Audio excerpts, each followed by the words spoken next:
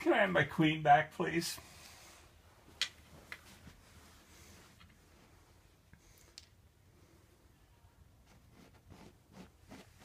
So who's gonna put who in check first? Check. It's okay. I don't mind.